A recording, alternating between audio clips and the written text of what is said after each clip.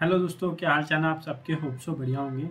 आज मैं आपके साथ फिर से अनदर वीडियो लेके आया हूँ। तो फोर्टी फिफ्थ इलस्ट्रेशन में हम डिस्कशन करते हैं। फोर्टी फिफ्थ इलस्ट्रेशन में क्या है?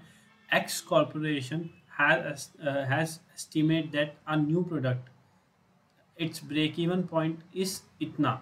Two thousand two thousand units उसका ब्रेक इवन पॉइंट है। यहाँ पे मेन बात बोली गई है break even point break even point वो पॉइंट होता है जहाँ पे हमारा जो प्रॉफिट होता है, वो किसके इक्वल होता है? लॉस के इक्वल होता है। सिंपल सी मैं बोलूँ, किसके इक्वल होता है? इक्वल टू लॉस तो प्रॉफिट मेरा लॉस के इक्वल होगा। तो ब्रेक इवन पॉइंट मेरा वो पॉइंट है जहाँ पे मेरा क्या होगा? ना ही मेरे को प्रॉफिट होगा, ना ही लॉस होगा। सिंपल सी बात बोलूँ ई बी आई टी जो होता है वो उस केस में ज़ीरो होता है। क्या होता है? ज़ीरो होता है मेरा। तो मैं इस डिस्कशन करता हूँ आगे। If the items are sold at fourteen rupees per unit fourteen rupees per unit The cost accounting department has currently identified the variable cost rupees 9 per unit. तो रुपीज़ नाइन पर यूनिट है and degree of calculate the degree of operating leverage operating leverage आपने calculate करनी है for sale volume of 2500 units and 3000 units what do you infer from the degree of operating leverage at the sale volume uh, at 25,000 units and at 3000 units and their difference if any अगर कोई operating leverage में उन दोनों में difference आता है तो उसको भी बताओ। ठीक है? उसको भी थोड़ा एक्सप्लेन करो। तो हम सबसे पहले देख सकते हैं कि 2000 यूनिट्स में हमारा क्या है? ब्रेक इवन पॉइंट है। क्या है? ब्रेक इवन पॉइंट है 2000 यूनिट्स में। जहाँ पे हमें ना ही प्रॉफिट हो रहा है ना ही लॉस हो रहा है। तो मैं क्या करूँगा? ब्रेक इवन पॉइंट को पहले ले लूँगा। मैं क्या करूँगा? 2000 यूनिट्स के लिए सॉल्व कर लूँगा सबसे पहले। बताता हूँ इसके पीछे रीज़न क्या है मैं आपको बताता हूँ पहले। आप 2000 यूनिट्स मान लो ये 2000 यूनिट्स है। मेरी सेल क्या हो जाएगी? 2000 थाउज़ेंड इंटू फोर्टीन हो जाएगी। तो मैं इधर लिख दूँगा 28,000 28,000 मैंने लिख दिया। सपोज़ करो मैंने 28 के लिख लिया। एक तो मुझसे यहाँ पे लिखा भी नहीं जा रहा। पहली बार मैं यूज़ कर रहा हूँ। इसमें से मैंने माइनस कर लेना वेरिएबल कॉस्ट तो मैंने ये माइनस कर लिया ब्रैकेट लगा दिया ये। ठीक है? प्लीज़ इग्नोर करना मेरी राइटिंग को, इसमें मेरी राइटिंग ऐसी बनेगी, मैं इससे अच्छी राइटिंग नहीं बना सकता। मैं ट्राई कर रहा हूँ इसको यूज़ करने का, अगर मेरा बेटर होगा तो आपको बताऊँगा आगे। फिर टू थाउज़ेंड इंटू नाइन हो जाएगा, क्योंकि variable cost per unit nine है तो एटीन के आ जाएगा यहाँ पे एटीन के मतलब एटीन थाउज़ेंड सिंपल सी बात है। आप समझ रहे होगे मेरी फीलिंग्स को कि मैं कैसे लिख पा रहा हूँ इस पर तो ये एटीन के आ गया, इसमें से माइनस करा तो टेन थाउज़ेंड बचेगा टेन के कंट्रीब्यूशन आ गया टेन के अब यहाँ पे जो ई बी आई टी है, मैंने बताया आपको ब्रेक इवन पॉइंट पे आपका ई बी आई टी क्या होगा? ज़ीरो होगा।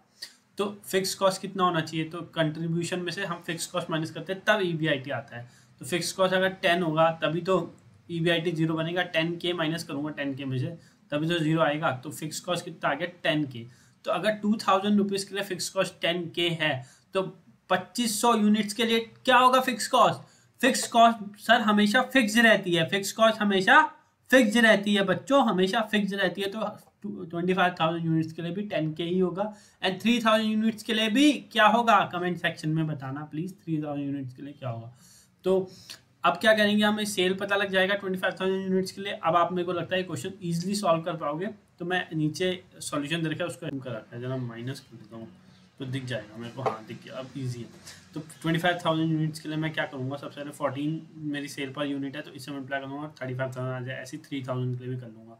फिर ये हमें ना नाइन दे रखा है, इन्होंने फोर्टीन नाइन गलत दिखे आप सिर्फ़ नाइन लिख लेना नाइन पर यूनिट तो नाइन से multiply twenty five twenty two five hundred आ गया, आप कैलकुलेटर में करके देख सकते हैं। ऐसी थ्री थाउज़ेंड को नाइन से मल्टीप्लाई ट्वेंटी सेवन थाउज़ेंड ही आता है, ठीक है। कंट्रीब्यूशन माइनस करके आ जाएगा, फिर उसके बाद फिक्स कॉस्ट तो फिक्स ही रहेगी फिक्स कॉस्ट तो फिक्स ही रहेगी। तो सिंपल जो ऊपर करा ना मैंने समझाने के लिए, वो आप सिंपली ऐसे भी कर सकते हो। चलेगा, ऐसे भी क्वेश्चन में चलेगा और तुम ऐसे समझ गए होगे कि मैं क्या समझाना चाह रहा था। टेन थाउज़ेंड ये कहाँ से उड़ के आया है? यहाँ पे सॉल्यूशन में बताया नहीं तो मैंने बता दिया आपको टेन थाउज़ेंड कैसे आएगा। फिक्स कॉस्ट फिक्स ही रहेगी तो टेन थाउज़ेंड इधर भी आएगा, टेन थाउज़ेंड इधर भी आएगा। माइनस कर लेंगे ट्वेल्व थाउज़ेंड फाइव हंड्रेड से टेन थाउज़ेंड तो पच्चीस सौ आ गया। और पंद्रह हज़ार में से माइनस करा दस हज़ार तो पाँच हज़ार आ गया। अब आप ओ एल निकाल सकते हो ओ एल होता है contribution upon E B I T होता है यार, ये ई बी टी कहाँ से आ गया क्वेश्चन में? ई बी आई टी होता है। हमें तो ओ एल फाइंड करना है ऑपरेटिंग लेवरेज थोड़ा फाइंड करना है। फॉर्मूला गलत दे रखा है। मेरे हिसाब से फॉर्मूला गलत है। प्लीज़ इसको फॉलो ना करें। ये मॉड्यूल में फॉर्मूला गलत दे रखा है। तो प्लीज़ आप contribution upon E B I T करें। E B I T B कैसे बनेगा भाई? चलो कोशिश करते हैं। कोशिश करने वालों की कभी हार नहीं होती तो हम लगे रहेंगे। Contribution upon E B I T contribution मेरा ये दे रखा है, बारह हज़ार पाँच सौ और ई बी आई टी पच्चीस सौ। लिया वही है, लेकिन इधर फॉर्मूला गलत लिख रहा है, ये क्या तरीका है इंस्टीट्यूट का? चलो, इसके लिए, इसके रिगार्डिंग हम मेल करेंगे इंस्टीट्यूट को कि अपनी स्टडी मटेरियल में ये जो है, इसको करेक्शन कर लें। यहाँ पे गलती निकाल दी हमने इंस्टीट्यूट की, चलो। और यहाँ पे भी कर दिया, और सिंपल हमारा आंसर आ गया ओ आ गया पाँच, और इधर आ गया तीन। तो आप देख सकते हैं कहाँ पे ज़्यादा है ओ एल पच्चीस सौ यूनिट्स पे ज़्यादा है। तो बस आप, आप आपको at the sale volume three thousand unit the operating profit is five thousand हमें दिख रहा है ऑपरेटिंग प्रॉफिट फाइव थाउज़ेंड है और जो कि डबल है पच्चीस सौ यूनिट्स के। हाँ दिख रहा है। Because of the fact that the O L is five times at the sale unit इतना। इस फैक्ट मतलब कि ये बोले कि ये यहाँ पे ऑपरेटिंग प्रॉफिट ज़्यादा है बल्कि डबल है इसके। पच्चीस सौ के डबल ये पाँच हज़ार हाँ ज़्यादा है।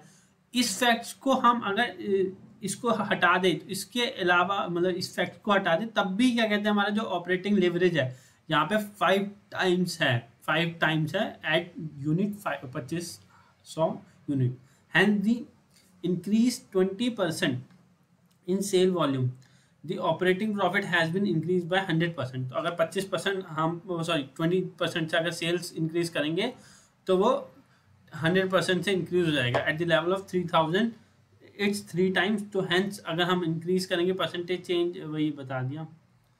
तो percent increase in the percentage of U I T is three times the increase in the percentage of sale volume ठीक है? तो यहाँ पे ये बात करेंगे thank you so much and have a nice day इसी के साथ मैं ये क्वेश्चन यहीं पे बाइंड अप करता हूँ. अगर आपको ये वीडियो पसंद आ रही है तो प्लीज़ इस चैनल को सब्सक्राइब करें और कमेंट बॉक्स में मेरे को सजेशन दे के बताएँ कि ये वीडियो कैसी बन रही है। होप सो आपको अच्छा लग रहा हो। जय हिंद, जय भारत। इसी के साथ टाटा बाय